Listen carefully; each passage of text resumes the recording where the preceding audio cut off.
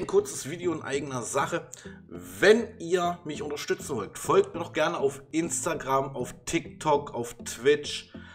Links dazu in der Videobeschreibung oder in der Kanalinfo. Würde mich sehr freuen, wenn ihr mich unterstützt und aktiv seid, denn auf TikTok, Instagram gibt es immer die neuesten Informationen zu meinem Leben, natürlich.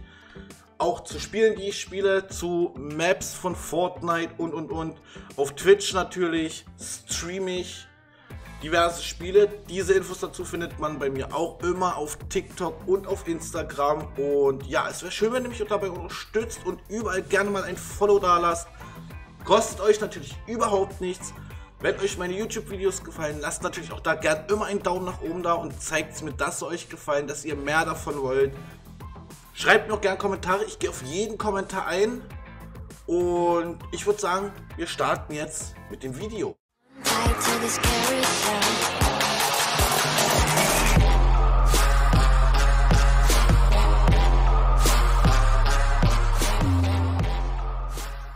Heute gibt es mal keine Jump'n'Run-Map, heute gibt es eine Open-World-Rollenspiel-Map. Man sieht schon, Fortnite Valhalla Hammer auf Tor, das Meal-Update. Ich muss sagen, die Map gehört zu meinen absoluten Favoriten, allein schon wegen der nordischen Mythologie. Die Map ist sehr an Assassin's Creed Zeichen Ragnaröks angelehnt. Werdet ihr dann aber auch im späteren Video alles noch sehen. Ähm, Creator ist Sven P. Ich muss sagen, er hat richtig gute Arbeit reingesteckt. Da ist viel Liebe mit drin. Inselcode wie immer in der Videobeschreibung. Ich würde sagen, aber ohne lang zu schnacken, wir starten das Spiel und wir sehen uns gleich wieder. So, und hier sind wir auch schon beim Spawnpunkt. Nicht wundern, warum hier Waffen liegen. Ich habe auf dieser Map schon das ein oder andere Mal gespielt. Man startet rein theoretisch mit einem grauen Schwert, sonst nichts und mit null Münzen. An meinem Inventar sieht man, ich habe schon ein bisschen gesuchtet, ein bisschen zu viel tatsächlich. Hier oben die Ressourcen werden natürlich gebraucht. Ihr braucht die Knochen, um hier unten am Amboss euer Damage und euer Health aufzurüsten. Ich habe schon das Maximal Damage erreicht, das sind 2000 Prozent. Und ich habe auch schon das Max Health erreicht. Ihr seht 900 Leben. Hier liegt ein Knochen. Hier kommen die Eisriesen, die in Midgard eingefallen sind. Wo wir uns auch gerade befinden. Midgard ist die Erde. Für die, die es nicht wissen. Wir starten auch in einem wunderschönen Wikingerdorf. Das hier steckt so viel Liebe drin. Das ist richtig geil. Ähm, auf der Map verteilt gibt es Lootkisten. Wie man hier sieht. Ich bekomme jetzt für diese Lootkisten hier keine XP mehr. Wenn ihr die Map das erste Mal spielt, ihr bekommt natürlich XP. Das müssten so knapp 200 XP pro Lootkiste sein. Ähm, ja. Was gibt's noch zu sagen? Es gibt ähm, Quests natürlich, die man erledigen muss. Man muss sie tatsächlich wirklich erledigen. Und es sind nicht viele. Sie sind auch leicht gehalten. Ähm, es gibt Bossgegner. Äh, Secret gibt's, da werde ich euch nachher auch eins zeigen. Und ja, ich werde mich jetzt mal ganz kurz hier durchkämpfen und wir sehen uns gleich wieder. So, ich bin jetzt mal ganz schnell durch die Stadt gerannt und hier gibt es natürlich auch schon den ersten Bossgegner, der natürlich, ja, einen Raketenwerfer hat. Was nicht gerade schön ist, aber dadurch, dass ich so viel Damage mache, ist er natürlich, wenn ich ihn erwische, leichtes für mich. So, als Loot kriegen wir natürlich ein paar Münzen, den Raketenwerfer und die nächste Tür öffnet sich, damit wir weiter voranschreiten können. Hier, äh, ja, die Pilze sind da, um euch natürlich zu healen. Das Feuer, äh, keine Ahnung, Return to Valhalla hat mich noch nie angekriegt tatsächlich. Möchte ich auch ungern jetzt machen. So, und ich würde sagen, wir sehen uns gleich wieder, wenn wir beim Secret sind. Da sind wir wieder. Hier ist der Raum. Da oben ist das versteckte Secret. Das sieht man dann auch hier. Search the uh, basement for a secret passage. Problem ist, ich habe das nie gefunden. Egal wie oft ich gespielt habe, was ich versucht habe, ich habe sie, diese Passage nie gefunden. Die kann man im Übrigen für Münzen einen Raketenwerfer eintauschen, der aber im Grunde sinnlos ist. Jetzt äh, für meine Verhältnisse, ich brauche nicht ich komme auch nicht irgendwie da hoch. Ich verstehe es einfach nicht. Wenn ihr wisst, wie ich da hochkomme. Oder, ja, spielt die Map einfach mal. Versucht die Passage zu finden. Wenn ihr sie gefunden habt, schreibt es mir gerne mal in die Videokommentare, denn es würde mich tatsächlich interessieren, wie ich da hochkomme. So, ähm... Lootkisten sind auf der ganzen Map verteilt natürlich. Also, ihr könnt so viel XP farmen, dass ihr hier, ach, keine Ahnung. Ich habe beim ersten Spieldurchgang, ich glaube, ein Level gemacht. Man kann bis zu gefühlt, ich sag mal, wenn man ordentlich spielt, pro Weltabschnitt mehr als genug XP verdienen. So, aber ich will euch auch nicht zu viel von der Map zeigen. Ihr sollt sie ja selber einmal spielen. Hier unten sind wir gerade im Kerker vom ja, Langhaus, vom Haus des Jahres. So, hier gibt es noch ein paar Kisten. Die gönnen wir uns noch. Und dann geht hier ein unterirdischer Bach lang. Den müssen wir natürlich nehmen, um in die nächste Welt zu kommen. Midgard hätten wir jetzt äh, im Grunde abgeschlossen. Und jetzt geht's nach Jötunheim. Jötunheim. Ich glaube, Heim spricht man das tatsächlich aus. Jötunheim. Und ihr werdet sehen, es ist tatsächlich an Assassin's Creed Valhalla, das DLC, äh, im, Zeichen, im Zeichen Ragnaroks, äh, Ragnaröks, wie auch immer, ähm, angelehnt. Denn wir werden viele bekannte Schauplätze tatsächlich sehen. Da ist nochmal das Jarlhaus, das sogenannte Langhaus. Und ja, fahr mal ein bisschen schneller bitte. Danke. Und hier sind wir durchs Portal in Jötunheim gegangen. So, natürlich gleich am Anfang wieder eine Kiste. Hier ein kleiner Text dazu. Den werde ich euch jetzt nicht durchlesen. Am Startpunkt natürlich wieder ein Amboss, um sich komplett aufzurüsten. Hier sind die Eisriesen aus Jötunheim.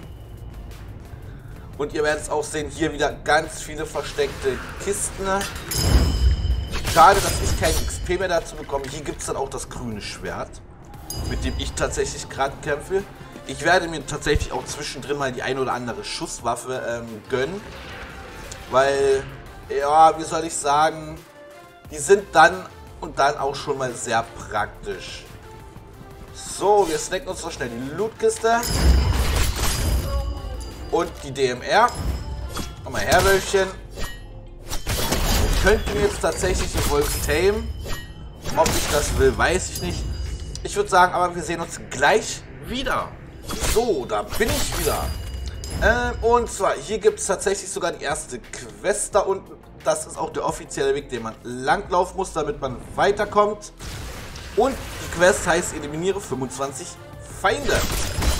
Sind aber ein leichtes tatsächlich, dadurch, dass ich halt schon, ja, im Grunde alles auf Max habe. Werden wir uns mal ganz kurz hier durchrattern wie ein Mähdrescher.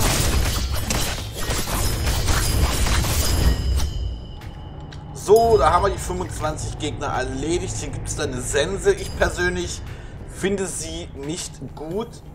Aber die gleiche Sense gibt es tatsächlich, die heißt nur anders, äh, in Assassin's Creed Valhalla. Die gab es zum... Oh Gott. Zum Halloween-Event.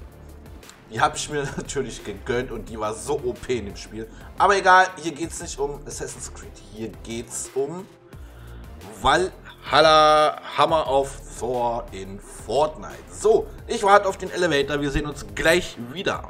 So, ich bin oben angekommen und hier sieht man einmal die wunderbare Welt der Eisriesen. Ich muss sagen, also der Map Creator, der Sven P., hat sich hier so ins Zeug gelegt. Hier ist so viel Liebe verbaut in dem in der Map. Es, ich weiß gar nicht, was ich dazu sagen soll. Ich bin halt, wo ich die Map das erste Mal gespielt habe, ich war halt richtig geflasht. Äh, zu der Kiste sage ich euch nichts, findet es selber heraus. Warum dort eine Kiste steht. Ich werde sie nicht öffnen. Also, wirklich, hier steckt so viel Liebe zum Detail drin. Es, es ist unbeschreibbar. Ich kann es nicht beschreiben. Das ist einfach wow. So, hier unten sehen wir dann das Dorf der Eisriese. Da gibt es ja tatsächlich nicht eins. Ihr seht, Spielzeit gibt auch EP. Was ich richtig klasse finde. Und ich habe tatsächlich gerade... Habe ich ein Level abgemacht? Nein, habe ich nicht. So, wir springen einmal hier runter ins Dorf der Eisriesen. So, natürlich werden wir hier gleich richtig hart penetriert. Da merken wir erstmal ein paar Eisriesen aus. So, in jedem Dorf gibt es natürlich auch wieder eine Kiste. Und nicht nur eine... Ah, Waking Hammer. Ähm, es gibt hier in jedem, fast jedem Haus eine Kiste tatsächlich. Und ja, man kann hier pro Haus fast 200 EP machen. Wenn man sie noch bekommt. Ich, ihr habt es gesehen. Ich krieg sie zwar, aber es wird nicht angezeigt tatsächlich. Hat man ja gerade gesehen, dass ich 20.000 EP äh, auf einer Creator Map gemacht habe. Ist ja in Fortnite gerne mal so eine Tagesaufgabe. Und ich habe die hier einfach so verdient. Obwohl mir keine EP angezeigt werden. Aber ihr habt es gesehen, da war wieder eine Kiste drin.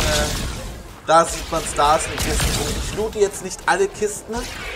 Wir wollen nämlich weitergehen und beim nächsten Schauplatz melde ich mich gleich wieder. So, da bin ich zurück und ich werde gerade richtig hart rangenommen. Na, kommt mal ganz kurz her hier. So. Ha! So macht man das. Du auch noch? So. Hier geht's weiter. Bei dem wunderschönen Haus des Eisriesen Trüm. Jeder, der die nordische Mythologie kennt oder aber Assassin's Valhalla gespielt hat, weiß, wer Trüm ist. Es ist der König der Eisriesen. Und was ich hier drin klasse finde, hier ist sogar ein kleines Jump'n'Run verbaut und nicht nur hier, auch auf, einer, auf einem anderen Teil der Map, wo wir tatsächlich jetzt nicht hinkommen, sondern erst später. Man kann natürlich dort hoch nach einem schönen Kampf. Man kann aber auch hier hoch, da hoch. Da oben gibt es tatsächlich noch Kisten, die kenne ich noch gar nicht persönlich. Dann werden wir doch gleich mal hinrennen. So, wartet mal, lasst mich mal bitte. Danke, nein.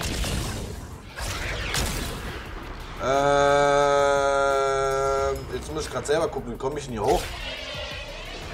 Äh, so nicht.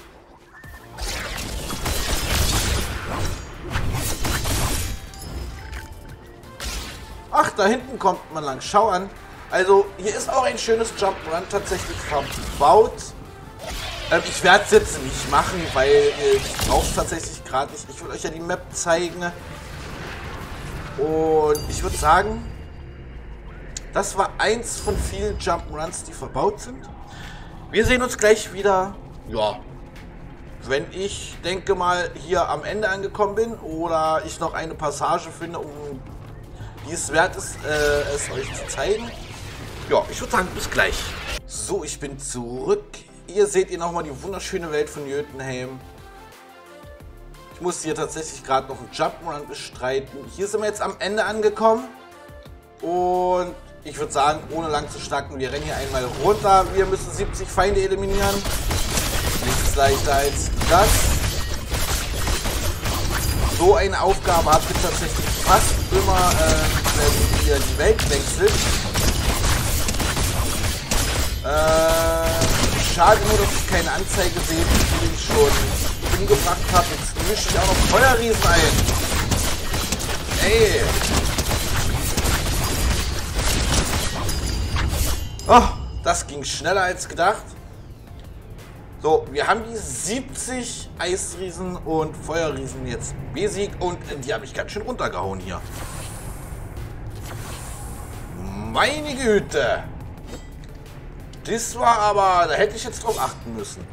So, wir gehen weiter in die nächste Passage. Aber hier mache ich noch mal einen kurzen Cut. Wir sehen uns gleich wieder. So, da bin ich zurück. Wir beschreiten das Portal in eine neue Welt. Noch ist sie nicht äh, atemberaubend. Oh, komm mal mit, ich nehme mal mit. Ähm, ihr werdet aber gleich, ja, wie soll ich sagen, Bausteine Klotzen, wie auch immer, ich weiß nicht, wie man das nennt. Ist mir gerade auch Schnuppe.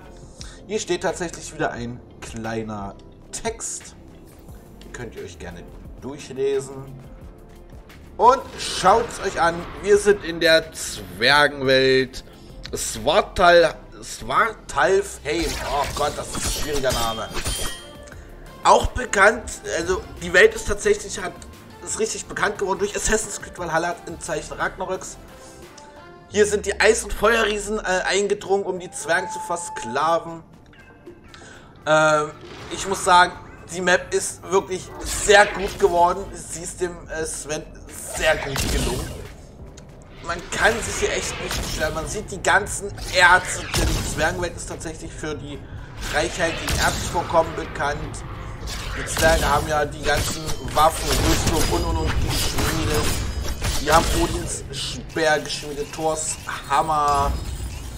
Ähm, oh Gott, was gab's da noch? Da gab's doch noch das, ähm, äh, von, war das Tür? Der einarmige Tür, der das äh, selbstschwingende Schwert hatte? Ich glaube.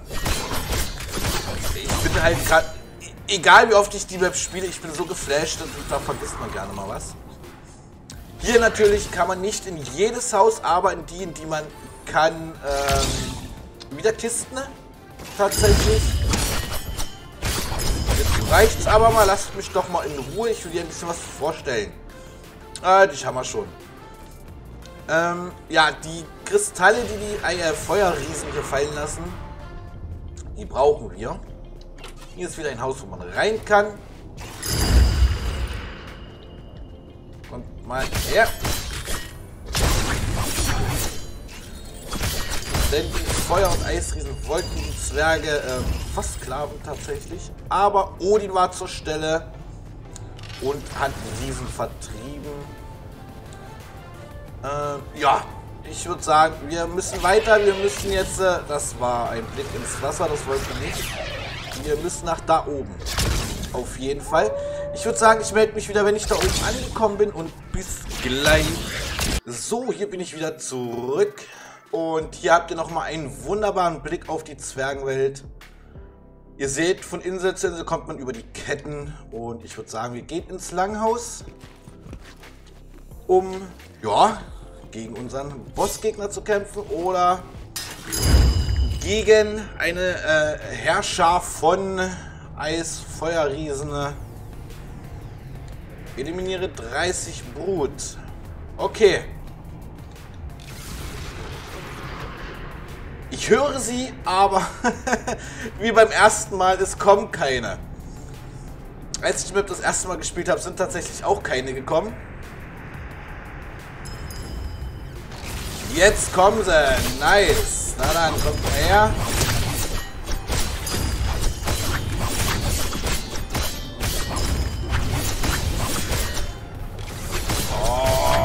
Feuer da hinten aus dem Drachen kommt, das ist so geil.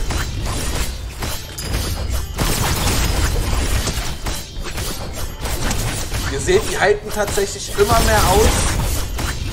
Was ich auch geil finde. Lasst mich mal ganz kurz zur Seite, danke.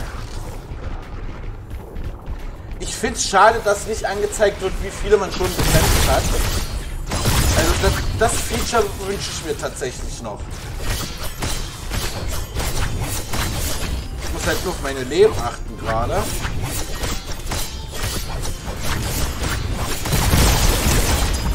So, und da haben wir alle eliminiert. Hier hinten geht es dann weiter auf. Hier hinten kann man tatsächlich ähm, Sachen traden. Die Sense, wie gesagt, die braucht man nicht. Es ist. Man kämpft mit der zu lange, also man holt für einen Schlag zu lange aus. Jetzt lasst mich doch mal in Ruhe. Hier kann man äh, Coins gegen äh, Metall eintauschen, um sich die anderen Waffen zu gönnen. Ich hingegen brauche tatsächlich eigentlich gar nichts davon. Glaube ich zumindest. Wir gönnen uns aber mal das hier.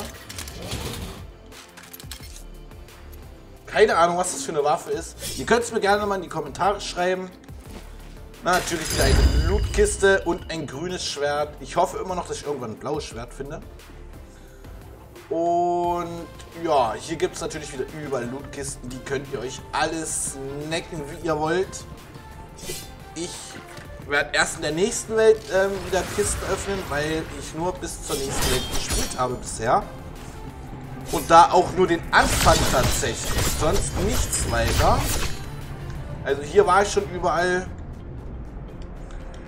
Und ja, wir gehen jetzt einfach mal direkt durch in die nächste Welt. Da war im Übrigen wieder ein kleiner Text für euch.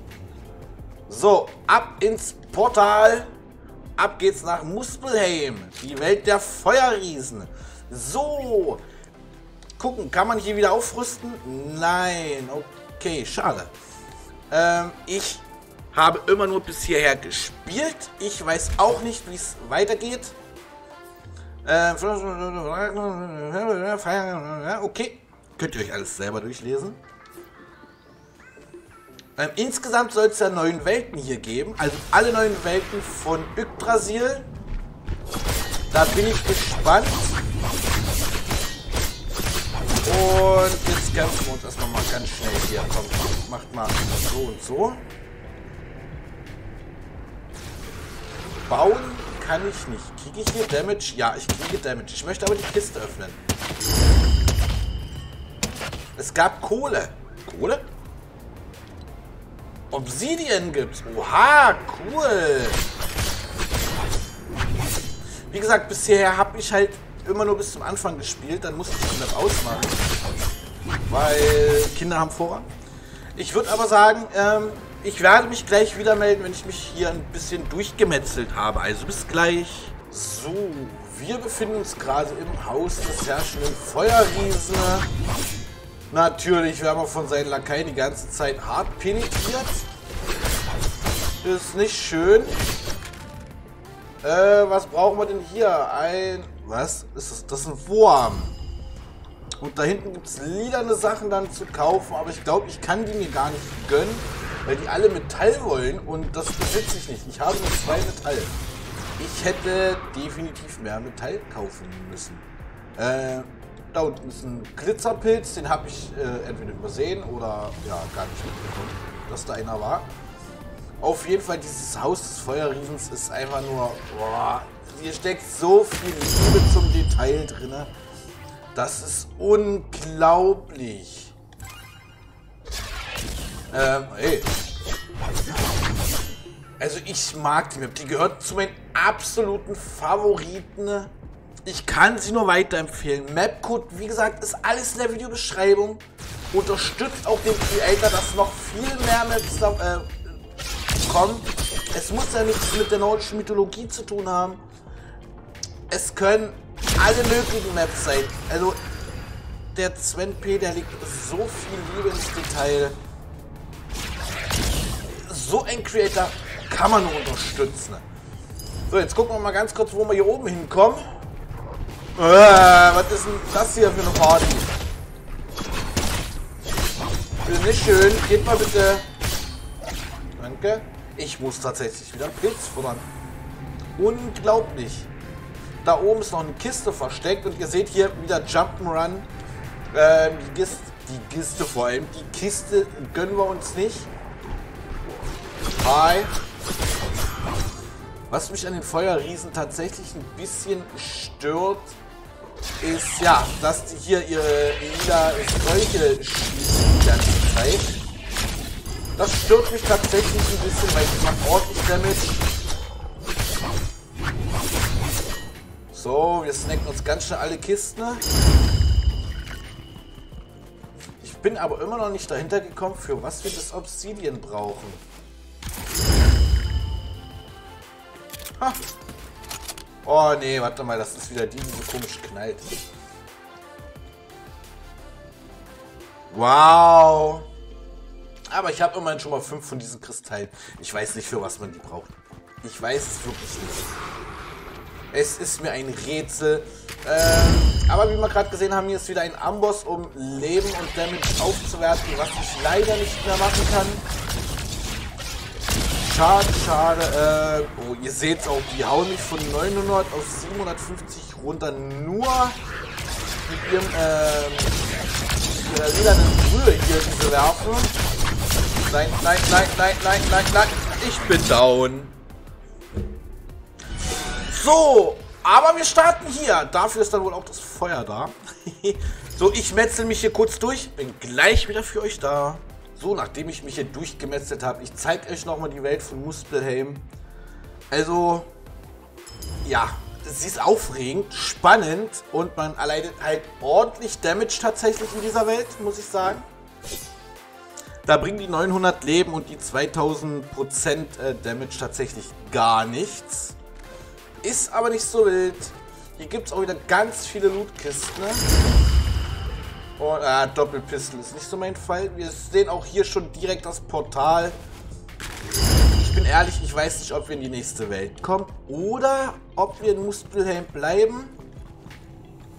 Interagieren. Ja, kommt, das machen wir mal.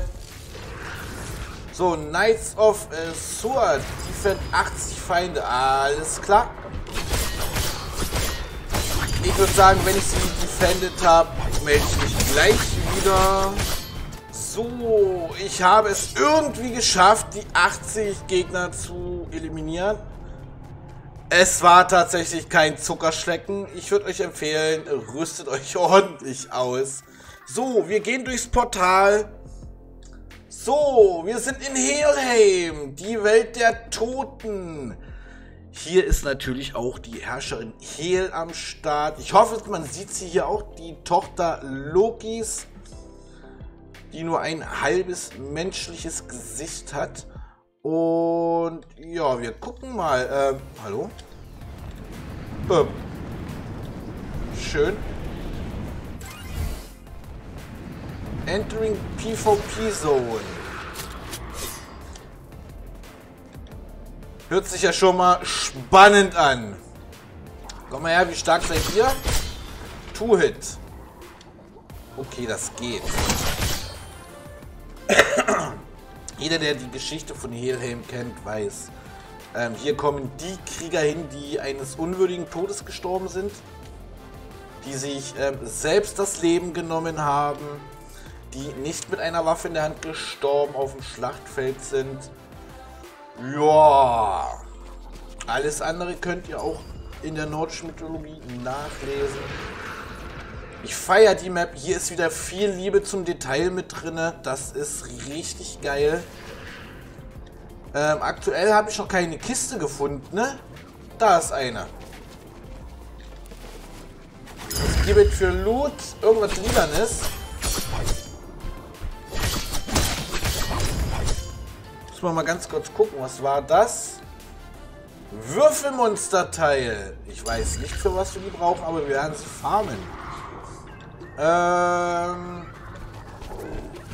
Ja, da ist ein Häuschen. Oh, da ist drin. So. Äh, hier ist noch eine Kiste. Komm mal her, Wölfchen. Dich hätte ich gern als Partner. Wo ist er denn? Da ist er. Komm mal her. Mann, renn doch nicht weg! Ach, der ist ja fast down. Will dann die Schuhe mehr haben, wenn du fast tot bist. Wir werden mal ins Häuschen gehen, gucken, was es da Feines gibt. Äh, das wäre ein kleines Jump'n'Run zu einer Kiste. Oh, hier ist auch noch mal eine. Schön. Äh, das hat so geleuchtet. Wow. Jetzt wissen wir, was geleuchtet hat. Kann ich dir aber... Oh ja, genau, jetzt zeigt mir so eine Kehrmaschine lang. Ernsthaft? Es tut mir leid, ich wohne halt zu nah an der Straße. Äh, hier brauchen wir auch Metall. Bringt uns alles nichts. Jo, ich würde sagen, wenn ich wieder was Interessantes finde, melde ich mich wieder. Also bis gleich. So, ich bin zurück. Wir sind immer noch in Helheim. Ähm, was ich sehr interessant finde an der Map. Hier schweben einfach Bäume in der Luft. Schaut's euch an. Ich wusste gar nicht, dass das in Helheim so ähm, stark verbreitet ist.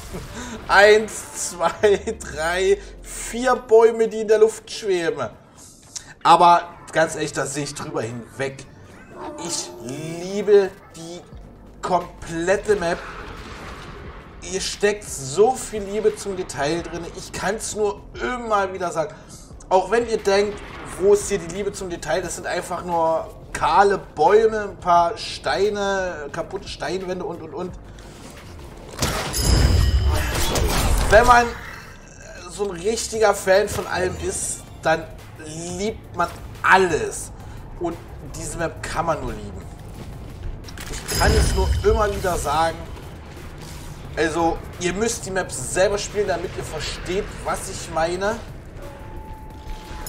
Und ja, ich suche jetzt gerade eben tatsächlich nur den Weg, wo es weitergeht. Da bin ich gerade selber ein bisschen überfragt. Äh, mit dem kann man nicht interagieren, okay.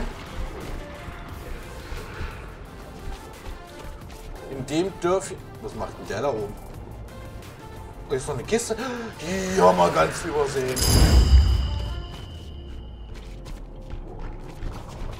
Geh mal weg, das will ich wieder haben. Das ist voll cool, wenn man gegen Bosse kämpft. Oh, da ist er wieder weg. Äh, jo, ich melde mich gleich wieder. So, da bin ich wieder zurück nach einem kurzen Cut. Und jetzt öffnen wir mal das Türchen hier hinten. Ne? Ja, in Ruhe gelassen werden. Und noch mehr, natürlich. Und noch mehr. Was wollt denn ihr alle von mir? Ich habe halt gerade tatsächlich eine Dreiviertelstunde auf dieser Map gespielt. Nur um zu gucken, wie ich an diese Fragmente komme. Und das war, ja, nervenzerreißend. So, hier werden wir jetzt bestimmt gleich wieder ordentlich fighten dürfen. Her, ich will 50 Stück haben. Danke. Ihr seht, ich habe auch ein gutes Waffenarsenal. Für mich sieht es hier tatsächlich aus, als ob ich gleich kämpfen darf. Was haben wir da hinten? Ah, ja. Äh, okay. Oh Gott, bin ich langsam in dem Wasser. Irgendwas muss doch hier gleich passieren. Ich habe da unten nämlich immer noch eine äh, Damage-Anzeige von 5000. Die ist es nicht. Loading, please wait. Hm.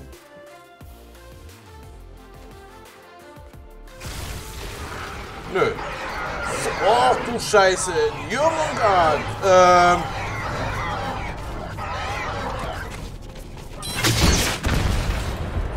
War ein Satz mit X-Ike.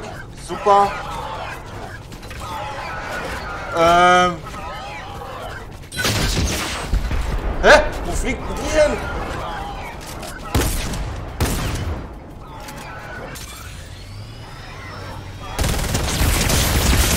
Genau deswegen will ich ungern gegen euch kämpfen, ihr nervt. Schaden. Oh, weg hier. Aber ich muss kämpfen, ernsthaft. Au, au, au. Ähm, geht's hier hinten weiter? Nein! Oder bitte? Na, nein, es geht nicht weiter! Ähm.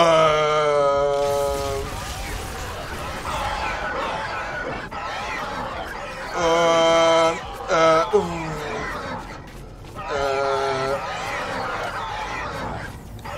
Okay, ich weiß gerade tatsächlich nicht. Ich weiß, wo es weitergeht. Nein. Hä?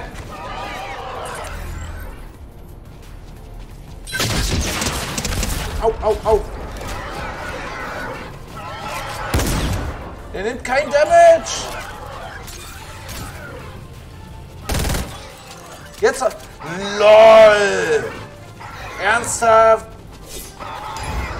Ich muss den hier ausweichen und ich muss äh, da reinfeuern, damit das Damage kriegt. Wow. Dann bin ich mal gespannt, ob meine Munition ausreicht. Weil die hier nerven tatsächlich gerade ein bisschen. Muss es einfach mal ganz kurz machen. Das ist halt so nervend mit dem.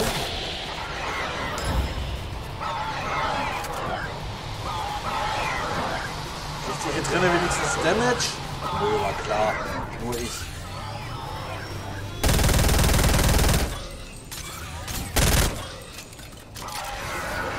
Okay. Ach du Heimatland. Ach du Heimatland. Was habe ich jetzt fabriziert?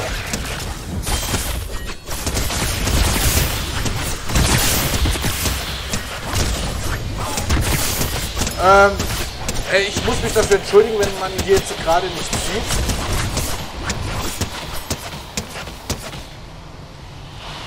Aber das war ja mal... Ach du... Ahnst es nicht. Und jetzt? Wieder da reinschießen?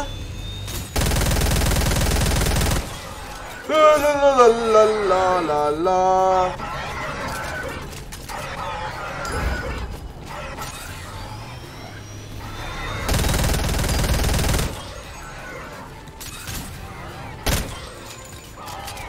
verstehe die Welt hier gerade nicht so wirklich.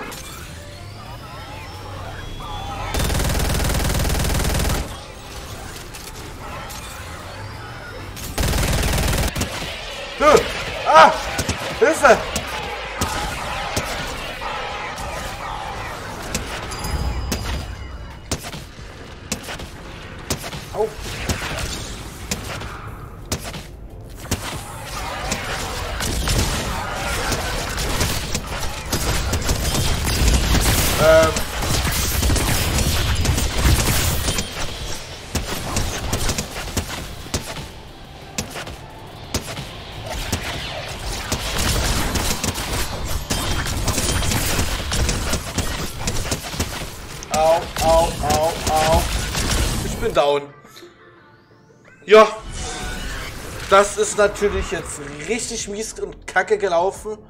Ich weiß einfach nicht, wie man das machen soll. Mit der Schrotze komme ich da nicht weit. Holen kann ich auch nichts. Ja. Ich würde aber sagen, ich werde das Video jetzt hier komplett beenden. ähm, ich werde die Map auf jeden Fall weiter suchten ohne Ende. Ich werde versuchen, sie komplett durchzuspielen. Wenn man mal hier guckt, es gibt sehr viel, was noch ähm, erforscht werden muss, erkundet werden muss. Es sollen ja alle neuen Welten von Yggdrasil da sein. Wir haben jetzt schon fünf oder sechs Welten gesehen. Die restlichen Welten dürft ihr selber erforschen, erkunden, wie auch immer. Ähm, ich kann es nur immer wieder sagen, hier steckt sehr viel Liebe zum Detail hin, auch wenn mich das hier gerade an Harry Potter, die Kammer des Schreckens, ähm, erinnert. Aber es ist sehr viel Liebe zum Detail, der Aufbau, ähm, die Storyline, alles richtig, richtig geil man kann Swamp nur supporten für die Map. Äh, ihr dürft mich auch gerne supporten, indem ihr dem Video einen Daumen nach oben gebt und mir Kommentare schreibt. Ich werde auf jeden einzelnen Kommentar eingehen, wenn ich die Zeit habe. Ihr könnt mir in die Kommentare gerne weitere Map-Codes schreiben für Open World Storyline Maps, für Jump'n'Run Maps und und und. Und ich werde jetzt noch ein bisschen auf der Map verweilen und spielen. Ihr könnt euch den Map-Code in der Videobeschreibung kopieren und die Map selber spielen. Und ja. Wie gesagt, lasst gerne einen Daumen nach oben da und ich hoffe, wir sehen uns dann zum nächsten Video. Und bis dahin bleibt mir nicht mehr viel zu sagen, außer dass ich euch noch einen wunderschönen Tag wünsche. Rockstar,